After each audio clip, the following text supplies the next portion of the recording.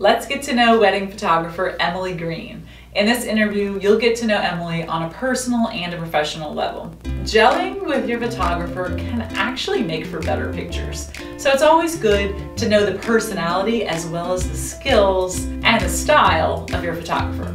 Here are 21 questions with Emily Green. You post pictures of your pup and foster pups a lot. Can you share a little about that? Uh, yes, I do foster a lot of puppies. Um, I'm a little dog obsessed. I started fostering in February, so it's been around eight or nine months so far, and we've had, I think, 18 or 19 puppies.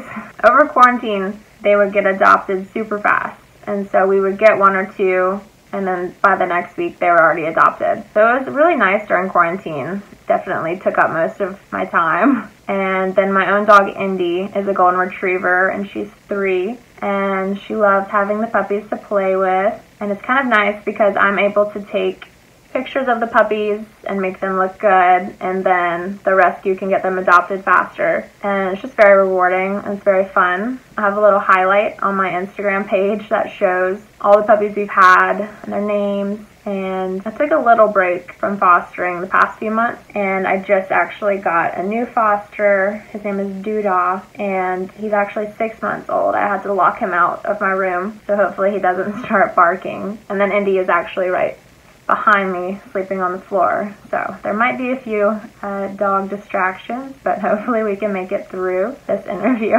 What song has been stuck in your head lately? Uh, I think since we've gotten the Foster Doodah, the name is so odd, but there's a song, I don't even know the words, but it's something like Doodah, Doodah, something like campfire song. I don't even know, but that song has been stuck in my head because we say his name a lot. What are your tips for engagement photos? My tips for an engagement session usually just make a day of it, like have dinner or drinks before, just relax. Um, everyone always says that they're so awkward in front of the camera and they hate having their picture taken, but it's it's really easy. It's nothing to stress about. I'll tell you what to do, how to pose, uh, different little actions uh, that are just fun. Anyone can do it and anyone can look good. So just the biggest thing would be to not stress out about it and just have fun. Definitely wear something you feel pretty in, you feel comfortable in, and just have fun. Describe your style of photography. So my style of photography is definitely more on the candid side. I like to make it look effortless and classic, but also um, a little bit like eclectic and fun. And then the editing style is kind of a brighter, airy, but also colorful. And I like to keep the skin tones true to their natural color, nothing too overly edited. And then I like to have a little bit of a glow to the pictures just to make it look kind of dreamy, but nothing too crazy. I don't want it to be something you look back at in 20 years and it looks too just a trend.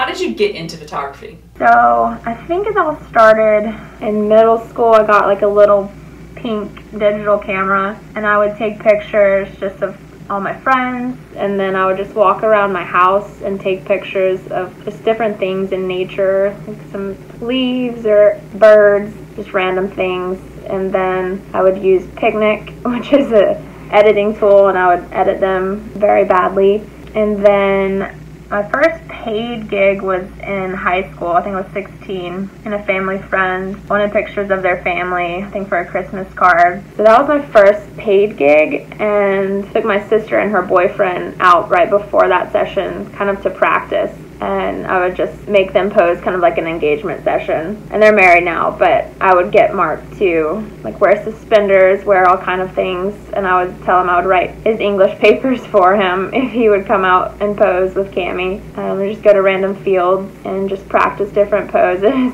and then for wedding photography, I did my first wedding in college. I think I was 20 or 21. There was a lady who had took her headshot and her daughter was getting married. And it was a smaller wedding at her house in their backyard. And when she asked me, I told her no because I had never shot a wedding. I didn't know anything about weddings. I was totally inexperienced in that aspect. And so I told her no, but she somehow convinced me to do it because she didn't know anyone else and she just wanted me for a couple of hours to just capture the ceremony. And so I did that one and it, it went fine. And then I just kind of slowly started booking more weddings, which usually people second shoot before they lead shoot, but I somehow did that a little backwards. Um, and then I started second shooting a lot, and just each year it would almost double the amount of things I would book. Um, and so I've been doing it for about six years now, and it's just grown a lot.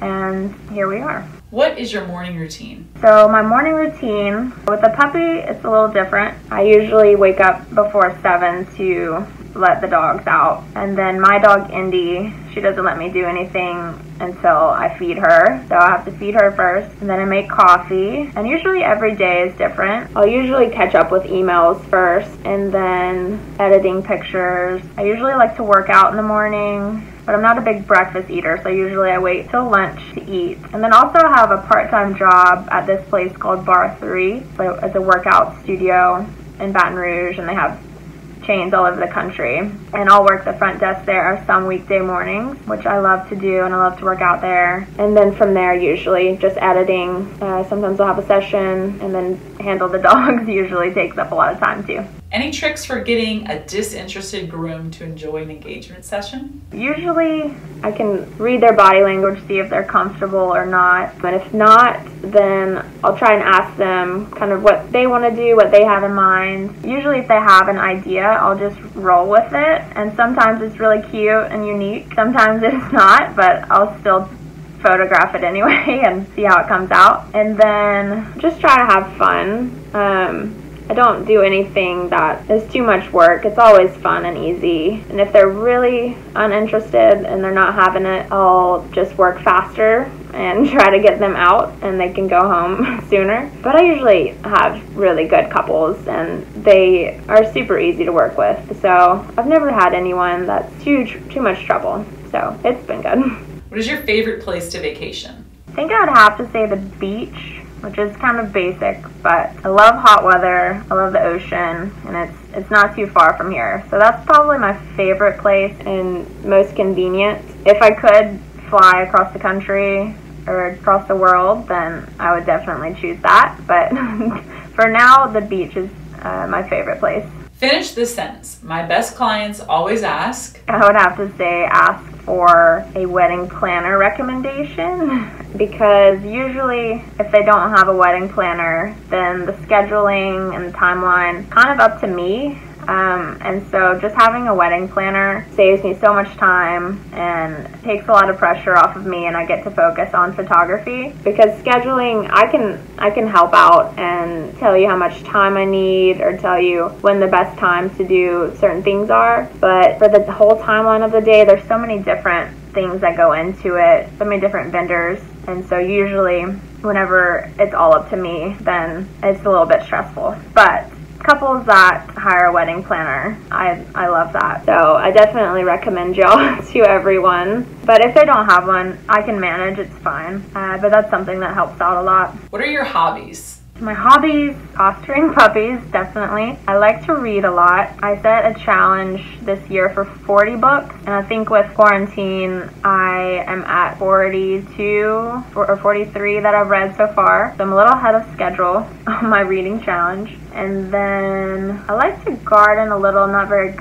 I did a little herb garden, some basil and mint and sage. And then I like to be outside, I like to take the dogs on walks go eat with friends. Anything outside I like to do, but it usually involves dogs, so a dog friendly place is the best thing. But yeah, that's pretty much it. Tell us a duty that you have on wedding day that most people don't know about. I do a lot of straightening the dress or the train of the dress. That's kind of non-stop, which most people don't think about. It's a lot of up and down. And then also sometimes I'm the only one who knows how to put in the veil the right way and then how to maybe how to bustle the dress sometimes turn into a little mini wedding coordinator in those aspects. I think that's one thing most people don't know about that i do. What is your favorite organizational tool? Probably i would say honeybook which is a like a creative business management uh, software. And i can do all my invoices through there and they handle all of the payment schedules. Um, and then I send questionnaires. It keeps me from like double booking weddings or sessions, and it definitely just keeps me way more organized because I don't have an assistant or anyone, and it's just me. And so HoneyBook is well worth um, the fee I pay for that. And then also Pixieset, which is what I use to send my pictures in galleries. Super easy. And then they have like a print store option on there, which is really nice. People can order prints directly from their gallery. So that is another time saving thing for me. How do you stay energized during a long wedding day? So for a long wedding day, usually I'll drink a Celsius in the morning, which is like a, a healthier energy drink, and it has a lot of caffeine in it, so it usually keeps me going for a long time. And then I'll eat something really filling right before the wedding, and I'll definitely bring snacks, and then just drink a ton of water throughout the day. Make sure that I have comfortable shoes on, and then usually I can last till midnight or so. What is your favorite New Orleans restaurant? Probably I would say Peche, which is like a seafood restaurant. They have an appetizer that's called fried bread. That is amazing. And then also their crab claws are amazing.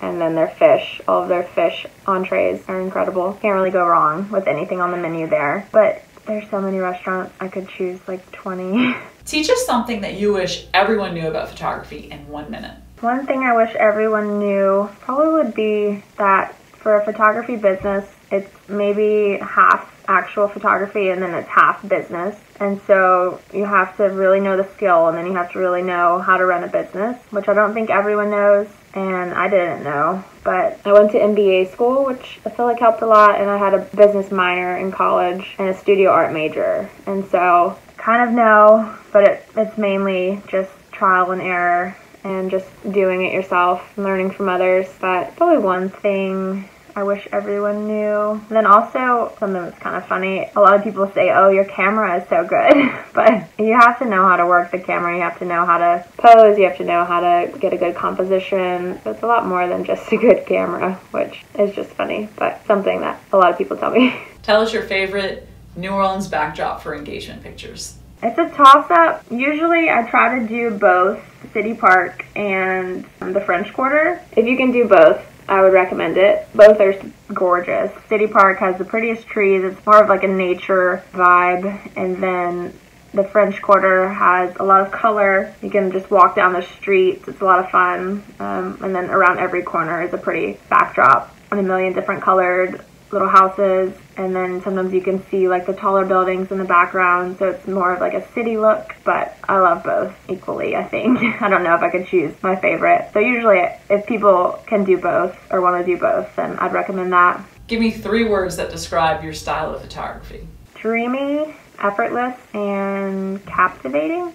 So it looks very easy and effortless but there's actually a lot of thought and work um, put into it. What's your favorite quarantine project? I've done a lot of things. I like to stay busy and I like a lot of crafts. I think my favorite recently is embroidering. I just started actually a few weeks ago, so I guess not technically quarantine. But, and the only thing I've done is embroider dog bandanas, but that's a lot of fun. I like that. And then I did a few things in the backyard. Uh, I have a little wooden table that I sanded and then stained and kind of sealed it and then I have this little dirt patch under this palm tree that I put these little like stone pavers and made it look a little prettier. I Also did a lot of puzzles, but I think my favorite is embroidering, the fun little new skill that I learned. What is your Enneagram type? My Enneagram type is type 9, I'm pretty sure. And that's the one that I always relate to the most. Really hate conflict I like everything to be peaceful. Um, I'm very go with the flow. And so I think nine, I'm pretty sure. There was a few others that I related to a little bit, but it's always been the most to the type nine. What is your favorite business book? I think I would say Big Magic by um, Elizabeth Gilbert. Uh, that one was really good. Just like gets you to want to move out of your comfort zone, just inspires you to do more. I haven't really read a ton of business books. I've only read a handful, but I do like to listen to podcasts. There's a couple of local photographers that I listen to their podcasts. One is Catherine Guidry. She has Mistakes Make Magic, which is really good. And then Jordan Heffler has um, Do What You Want Radio, which I like to listen to people who are more local, a little bit more relatable. But yeah, I love podcasts. Where can we find you on social media? You can find me on Instagram at Emily Green Photo.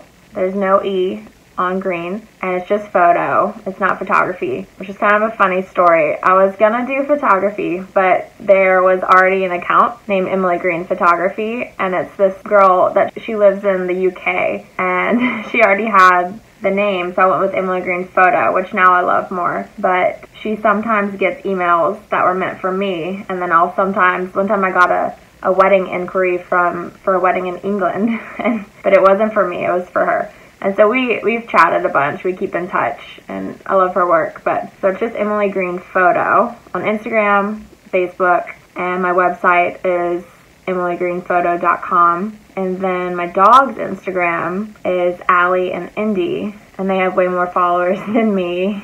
They had a few little cute videos kind of go viral, and so I kind of try to get free stuff for them through their Instagram. They're little dog influencers. And then they also, I just made them a TikTok, which is fun. And there's, their TikTok is also Allie and Indy. Emily, thank you so much for being on our show. I know our guests enjoyed getting to know your personality.